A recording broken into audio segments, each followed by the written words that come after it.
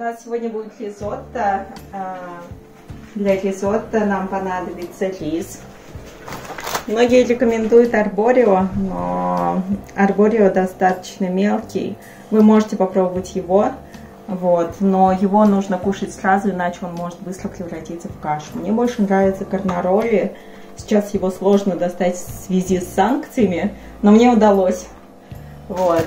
А, понадобится лук, чеснок, сливочное масло. Для вкуса можно добавить тимьян как свежий, так и сушеный. Петрушку свежую очень классно добавлять.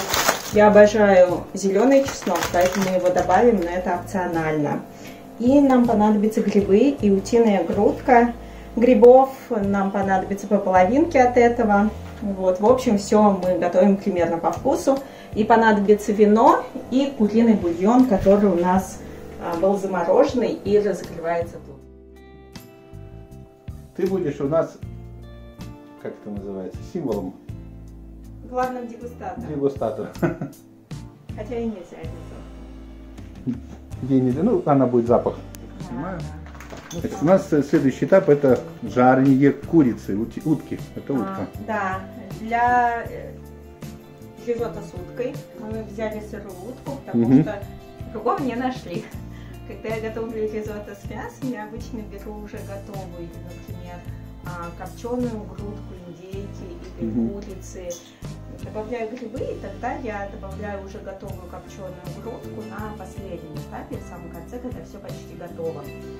Не удалось найти копченую, но нашлась сырая утка, и ее мы поэтому предварительно поджарим. Вот. Мы также готовим мясной бульон, он у нас должен кипеть, он у нас почти разморозился и закипел.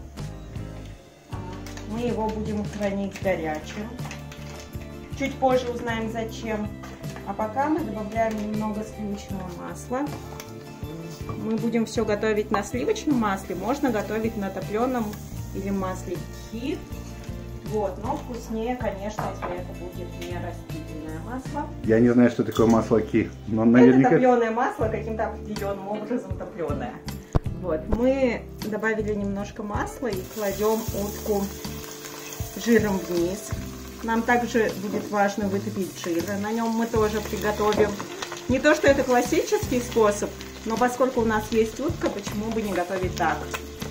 Вот, если бы утка у нас была бы копченой, или бы мы готовили вообще ризотто с грибами без утки, такое тоже возможно, то этот этап мы бы пропустили. Мы хотели рассказать вам историю ризотто, но не успели ее В нагуглить. общем, никто не знает, что это такое. Чуть позже Саша расскажет свою версию. Вот. А пока что я расскажу мой путь к ризотто. Я услышала о ризотто еще очень давно, увидев на полках в супермаркете вот эту готовую смесь для ри- ризотто. Нашла рецепт в интернете, что-то намешала, получилась рисовая кашка. И вот совсем недавно, год назад, а, тот момент был лет 10 назад, вот, а год назад я пошла на мастер-класс «Идеальное ризотто», и там мы готовили такое вкусное ризотто приготовили, что я начала его готовить дома. Ризотто совсем не диетическое блюдо, и благодаря этому мастер-классу мы поправились на несколько килограмм. Так что Да, Саша был когда-то очень худенький. Но сейчас...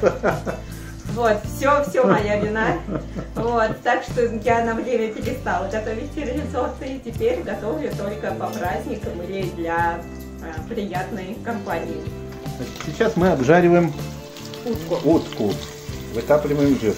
Мы вытапливаем жир и дожариваем ее до какой-то консистенции, чтобы потом мы нарезали и положили на самом последнем этапе. Так, нам нужно будет порезать лук, чеснок, грибы. Пока готовится утка. А, есть способ, как нужно делать правильно. Я его не умею резать, но могу научить. Так, ну давай. Как обычно. Вот, вот у нас есть большой нож, мы берем лук вот так, Мгм. а, почему это важно? Чтобы если отвлечься, пока смотришь телевизор или с кем-то говоришь по телефону, вы себя не порежете. Мгм. Вот так. Вот. И двигаем просто ножом. Получается вот так быстро, если так научиться.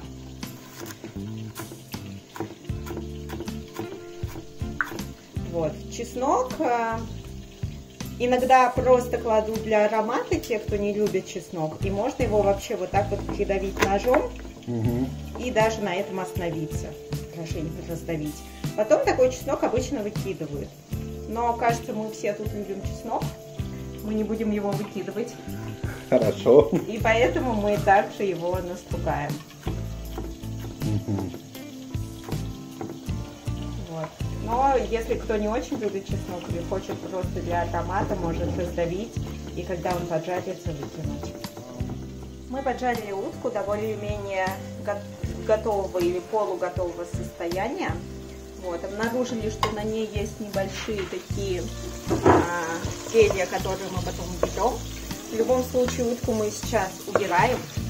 Если вы готовили без утки или с копченой утки, то вы можете просто добавить сливочное масло, растопить его и сразу добавлять чеснок. Какая у тебя тоска. Да, с нее надо было на ноже доставать чеснок, но я уже ее схватила всю. Вот, поджарить немножко чеснок. Итак, у нас немного поджарился чеснок. Мы добавим веточки тимьяна а, для аромата. И добавим сразу лук. Ага. У нас там уже нарезанные грибы, но грибы это просто нарезанные шампиньоны, да? Да, пока у нас все это поджаривается, мы делаем дальше заготовку. Режем шампиньоны и мы еще немножко вешенки возьмем. Мгм. Вешенки можно прямо разламывать пальцами, они очень нежные. И нарывать пальцами, не обязательно резать.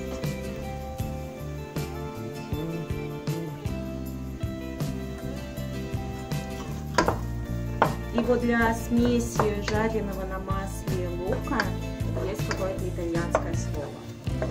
Может быть, когда-нибудь я его выучу, но это отдельное такое. Какие итальянские слова мы знаем? Давайте просто вспоминать, может быть, какой-то подойдет. Бонжорно. Лучано. Может быть, это Лучано. Буратино. Какое слово? Компрезу. Компрезо. Мне лежит испанский в голову. Испанский, кстати, тоже неплохо. Мы- Кстати, приезжает скоро один еще кубинец, кроме вот этого, который 20 мая, мая будет. И будет еще один 1 мая. Но я фамилию не запомнил пока. Пока только рекламу видел. Так, там режем заготовки, да, у нас? Продолжаем. Да. Режем шампиньоны. Вот. Какого-то размера. Мелкого или крупного, это смотрите сами. И вот наши вешенки. Их можно вот так вот прям. Они очень нежные, разрывать руками. На кусочки,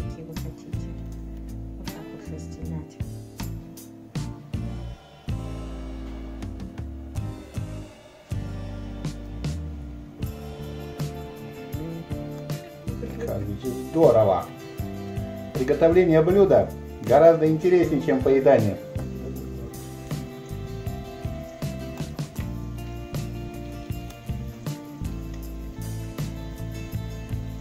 Только всякого интересного можно узнать. В частности, много новых итальянских слов. Которых мы не запомнили. Ну что ж делать? Вот если бы итальянцы придумали что-нибудь в э, IT, мы бы тогда знали итальянские слова. IBM, Microsoft, Apple. Нет, ничего такого мы не знаем. IBM, Microsoft и Apple. Вот. Вот слова, которые нам знакомы. Как бы они называли чат GPT, итальянцы? Чато GPT. GPT. Джипетто вполне итальянски звучит. Чатти. Люди, которые слушают нас и знают итальянский, пожалуйста, исправьте нас и скажите. Пожалуйста, напишите, нам в напишите, да, комментариях как должно быть. что-нибудь хорошее, потому что плохое мы и сами умеем писать. Мы этим ежедневно занимаемся, ежедневно. Вас призываем в комментариях писать всякое хорошее.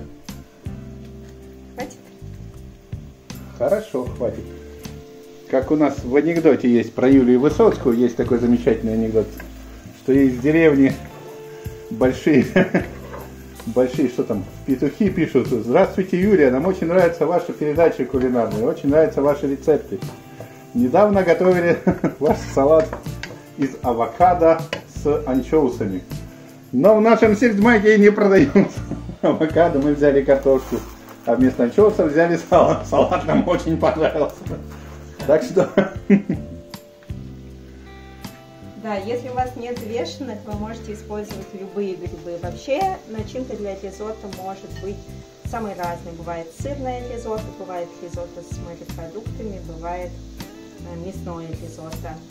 А, ризотто с морепродуктами или с рыбой лучше готовить на рыбном бульоне, а мясное ризотто на курином, грибное можно на курином или индюшачьем, у нас индюшачьем можно на овощном. В общем, бульон будет впитываться в рис, поэтому чем насыщеннее вы хотите вкус, такой бульон и подбирайте. Я надеюсь, что вы запомнили, потому что я сейчас вот запутался. Это очень было похоже на какую-то компьютерную инструкцию. Что с чем совместимо? Мне, придется пересматривать. Тимьян, кстати, потрясающе пахнет. Вот он уже здесь. Но я не могу сказать, что он подрумянился, потому что он зеленого цвета, но он явно поджарился. Вот такие грибы у нас получились. Да, и мы использовали примерно половину. Так, значит, впереди еще несколько ризотто, возможно. Кстати, давайте с вами решим еще один вопрос. Ризотто это что? Это они, это оно или это он? Что нам говорят наши, что говорит наше чутье и что говорят словари? Я поставлю на оно. Я недавно выяснил, что виски это она, если читать русскую классику. Я ставлю, что ризотто это она.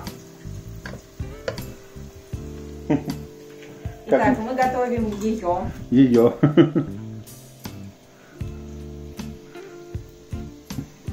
Играем в шахматы. Играем в шахматы. Саша, расскажи, как появилась кислота, твоя версия. Очень много версий, она появилась в Италии.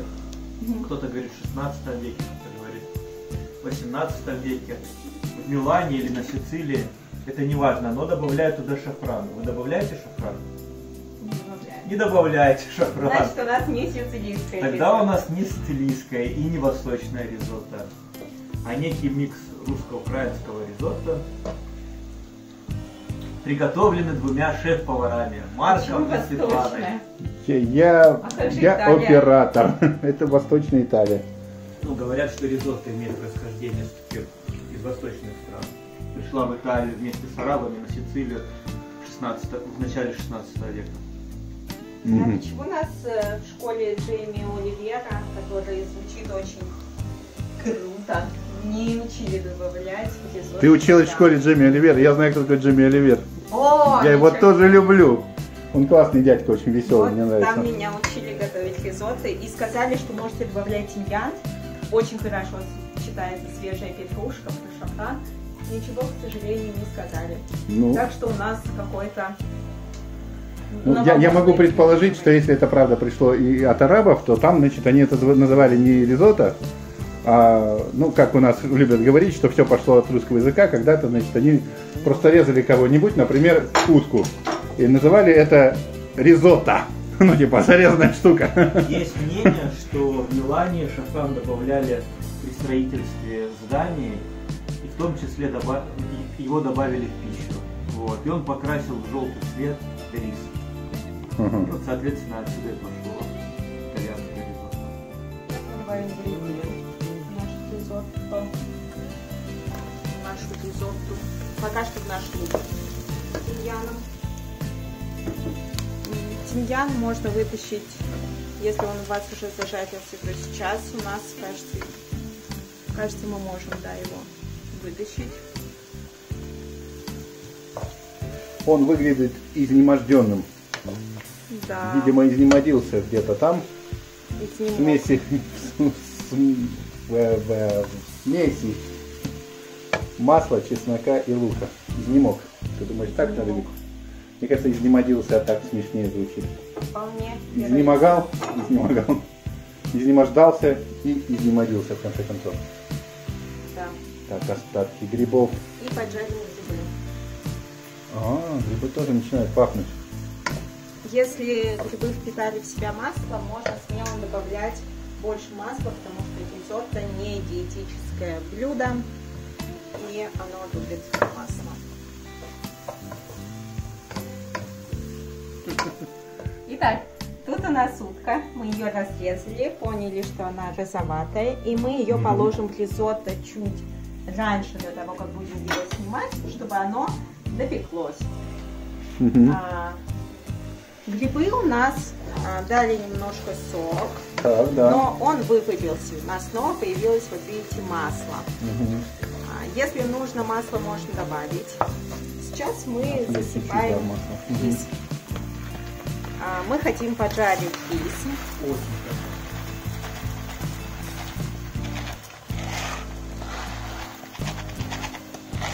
Мы можем дальше скинуть пропорции, которые нужны, поскольку я делаю все на глаз. Ну, я думаю, что на глаз вот понятно, что это была 800 граммовая пачка, наверное. Это она была 500 грамм. Ничего себе! Вот это я ошибся. ошибся. Вот, но вообще, насколько я помню, на 400 грамм риса, например, 150 грамм вина. Мгм. Начинки вы А У сами нас да, вино вот, да, смотреть. вино белое, у нас белое полусухое, это рисинг. Рисинг, немецкое вино, хорошее. А в ризотто добавляйте вино не самое плохое, а вкусное. Очень часто бутылку открывают и от нее отливают немножко в ризотто, а потом остатки бутылки, слад... которые сладкие, подают к столу. Мы решили сделать так же. Мы отлили из бутылки, а оставшиеся две с половиной бутылки мы выпьем сами. Сейчас наша Так, цель, рис- чтобы- рисинг, может быть, покажем. Вот, вот он. Это тот самый хороший. Он продается в пятерочке. Он недорогой, но он правда очень хороший. Сколько раз мы его с друзьями сравнивали с другими рисингами, с тех, которые подороже. Этот прекрасен. Только не забывайте ставить его в холодильник, пожалуйста, перед употреблением. А, вот, сейчас наша цель поджарить рис. Если ризотто готовится без грибов, например, сырное ризотто, то тогда поджаривается чеснок, лук и потом поджаривается рис. Вот он уже принимает такую золотистую окраску. У нас его довольно много, и поэтому у нас, видите, достаточно толстый слой ризотто получился. Это не то чтобы хорошо, вообще для ризотто нужно брать большую посуду с высокими толстыми стенками и широкую, чтобы ризотто было большую часть времени размазано по дну, то есть постоянно испытывала жар от плиты. Высокую, потому что потом мы будем много мешать, и все будет лететь в разные То стороны. есть это если бы была сковородка толстая с э, высокой с толстыми стенами, то было бы тоже неплохо. А сковородка нормально, но будет неудобно, когда мы начнем мешать, даже из кастрюли может все лететь, О, а из сковородки тем более. возможно, по- а, ну противень это, а, есть противень с толстыми стенами, я видел, стенками я видел, надо попробовать. Лучше всего вот кастрюля типа этой или Мгм, мгм. Ну хорошая. может быть большой казан, кстати. Итак, мы поджарили рис. Нам главное, чтобы каждая рисинка была вот Мгм. жиром, маслом. Мы добавили еще немножко масла. Вот, на вкус. Вот, и когда рис жарится, у него становится такая корочка, еще он немножко трескается, и сквозь трещины он будет выпускать крахмал. Теперь а, рис у нас все еще сырой, и мы вот жареный рис сырой добавляем вино, где-то 100-150 миллилитров. Оно даст такой приятный кисленький вкус. И теперь мы начинаем а, самое такое основное приготовление и самое основное движение в ризотто. Это вот так вот а, вымешивать его, выбивая рисинки об стенки, чтобы они давали крахмал. Ведь Мгм. настоящее ризотто, оно должно быть кремообразным, но внутри таким плотным, хрустящим, как макароны альдента, так и рис должен быть альдента.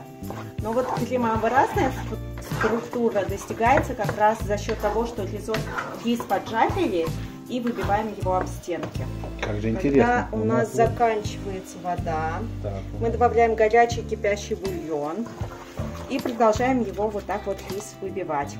Нам важно, чтобы рис не варился в традиционном смысле, поэтому мы никогда не кладем слишком много бульона. И рис сейчас впитывает бульон, и вот мы его вот так вот выбиваем о стенки, потом снимаем со стенок, чтобы он не сидел на стенках и не оставался сырым. И вот такой процесс нужно будет минут 17 а, или 15-20 делать. Чуть позже мы определим, как и когда останавливаться, в том числе мы будем пробовать по вкусу. Звучит как наказание в аду. 17 минут вот так вот ложкой делать. Мне кажется, это сложно физически. Ну, Но зато, если вы будете так делать, обратите внимание, то это практически спорт. не обязательно прям супер непрерывно, лучше, конечно, все время. Угу. Вообще, по одной из историй приготовления ризотто, кто-то просто оставил рис на плите, забыл, и у него получилось классное блюдо. Но шеф-повара говорят, что нельзя оставлять и забывать рис на плите, чтобы он получился, он, видите, дает уже такой крахмальный сок. Мгм, Это да. масло смешанное с грибным соком, и как раз рис начинает давать крахмал. И вот тут нам помогают все-таки высокие стенки, мы с них регулярно собираем рис, но они помогают, что только часть кухни нам придется убрать после ризотто.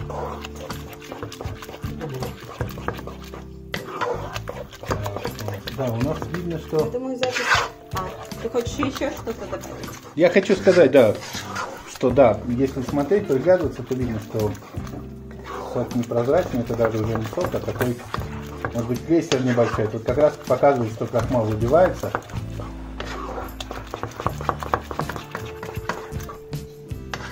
А вот сейчас, когда мы поджарили чеснок, лук, поджарили рис, залили вином, выпарили и залили бульоном несколько раз, ну да, добавили грибы в свое время, у нас получилось такой еще сырой рис и грибы с луком, чесноком и вином. Вот это хороший момент, если мы вдруг хотим а, заготовить ризотто на будущее, например, через пару-тройку дней приготовить. А, или также повара делают заготовки, бывает в каких-то ресторанах, иногда они готовят с нуля, очень часто. Но если вдруг нужно сделать какую-то заготовку, они могут вот на этом этапе остановиться и убрать часть ризотто. Оно будет все еще сырым, оно немножко дойдет в холодильнике, но зато вы можете его потом взять и вот дальше действовать так же, как мы сейчас с ним поступим. Сейчас нужно поймать Сашу и сказать, будет ли он все ризотто, или мы тоже отложим часть. Как я сказала, мы должны перемешивать ризотто, но у нас сегодня не то чтобы идеальное, а реальное ризотто, поэтому одной рукой мы помешиваем и выбиваем его, а второй рукой мы нарезаем утку, которую будем потом дов- доваривать, дожаривать с рисом, и готовим зелень, а, петрушку и чеснок, который Мгм. мелко порежем и в самом конце добавим. Это гранатовый сок, который пьет Света. Перерывы между приготовлением ризотто. Так, э, утка у нас немного розовая, но это значит, что мы сейчас ее просто дожарим. Она вот такая вот будет совсем готовая.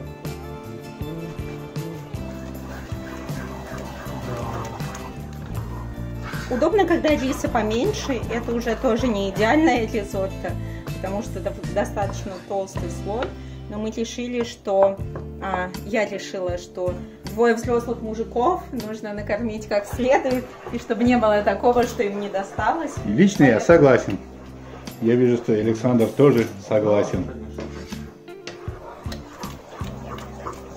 На Света деле, вот- проявляет чудеса предусмотрительности. Посмотрите на эту женщину. Надо есть- быть такой, как Света. Девушки, учитесь. Спасибо, Машка, очень приятно. Но у меня есть еще план Б. Дело в том, что ризотто вкусно есть только когда оно готово а, и в течение буквально 15 минут. Мгм. Если вы ждете гостей, а гости опаздывают, то тут вариант, либо гости будут кушать что-то другое, либо вы останавливаетесь а, в готовке ризотто. Вот. Но есть две тонкости. Первая тонкость полуготовое ризотто убрать как заготовку в холодильник, приготовить в течение дня-двух. А вторая тонкость, что полностью готовое ризотто, а, можно из него приготовить оранчини. А, Это такие шарики, обваренные перемешанные с яйцом. То есть все ризотто, оно уже, когда постоит, оно превращается в такую рисовую кашу. Разогревать его не так вкусно. Ну, для итальянцев, наверное, потому что я скажу честно, я как-то разогревала, мне было вкусно. Вот. Но вообще считается, что не так вкусно, и поэтому в него добавляют яйцо, перемешивают, опаливают в панировочных сухарях и поджаривают в масле. И получаются такие шарики оранжевого цвета. Можно в фритюре пожарить, можно просто налить много масла на сковороду или сделать в виде котлеток. Получаются такие рисовые шарики оранчини. Я как-то готовила Саша оранчини, как тебе? Очень вкусно. Ты уже забыл, как это. Но иногда съем готовлю. Вот, поэтому если вдруг у нас останется ризотто, то я, может быть, завтра приготовлю оранчини. Может быть, сегодня. Вот у нас есть уже кремообразный такой, мы видим, что соус. Даже немного видим. Но на вкус мы попробовали немножко, и оно еще достаточно сырое внутри. И сейчас такой хороший момент добавить нашу утку, чтобы она доварилась минут 5. Добавляем ее вместе с утиным соком, который тоже Мгм. проварится. Это И выглядит также- очень аппетитно. Продолжаем выбивать рис. Вообще ризотто должно быть толщиной 1 сантиметр, у нас его много. Но поскольку у нас русско-украинское ризотто, то а, у нас, Ну, должно Свой быть рецепт. много сала, много картошки. да-да-да, те, кто умеет готовить ризотто профессионально, хейтите нас в ко- в комментариях, мы готовы взять эту ответственность. Ставьте дизлайки, ну, короче, все как положено, что там хейтите. Говорите, что вы программисты, ни хрена ничего не умеете. Ну, да, наверное, так и есть. Да, вообще нужно было отложить, приготовить на две части, но мы не отложили. Мы не отложили так. Ну, извините нас, товарищи хейтеры. За счет этого, ну, как бы, нижняя сторона, она готовится как нужно, а верхняя варится и остается сыроватой.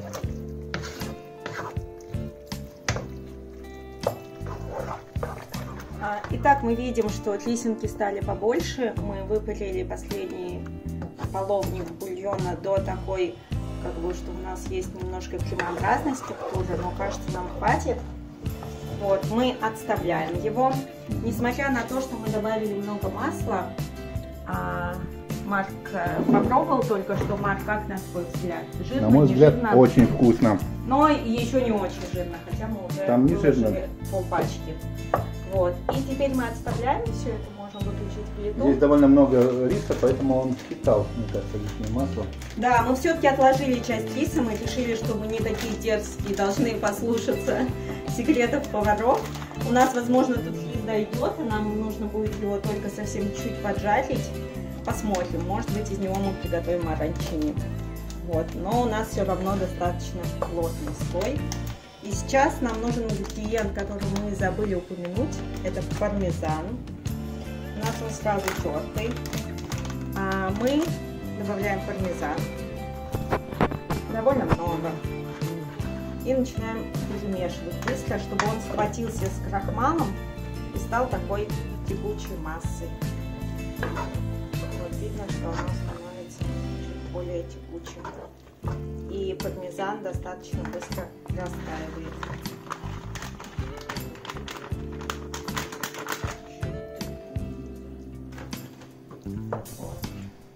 Джанате пармезан. Так. Добавили пармезан. Вот он уже, так видите, тянется. А, добавляем по вкусу сливочного масла. Я добавлю совсем чуть, чтобы он дал такую еще дополнительную кремообразную сливочную структуру. И вот для а, пармезана, смешанного с крахмалом и сливочного масла, есть тоже отдельное слово.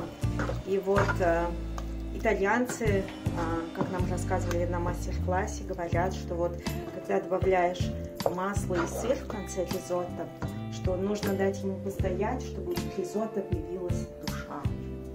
Или что-то такое, прям самый вкус. И добавляем порезанную мелко петрушку. Я добавляю еще по вкусу чеснока. Также сейчас хороший момент попробовать это и добавить соль и перца на вкус. Вот. Соль лучше добавлять после пармезана. Пармезан часто соленый и можно пересолить. Делать это до пармезана. И оставляем отдыхать. Добавили петрушку, перемешали. Вот оно уже готово, остывает. Его нужно прямо сейчас кушать. Также мы приготовили салат из помидоров, базилика, а, моцареллы мини и бальзамика. И оливок. Также мы пробуем безалкогольное вино, которое реально вино, потому что оно сварено, как вино, вино варит, Ну, а, сброшено, сброшено, Сброшено. вино, а потом из него. У нас есть и вино еще и такое алкогольное, на все случаи жизни. Вот, мы садимся кушать.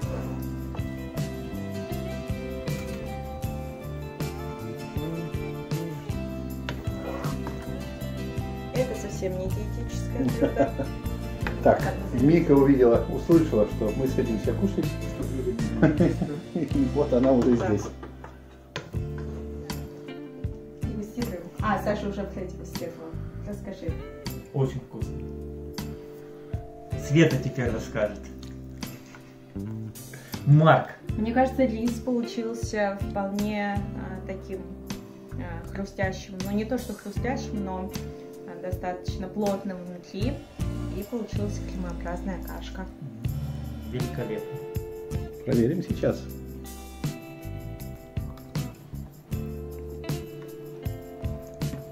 Мне очень нравится. Я большой не знаток итальянской кухни, но это выглядит очень по-итальянски. И на вкус это очень по-итальянски. По крайней мере, похоже на то, что дают в итальянских ресторанах. Так, Бонжорне! Фелисидадес!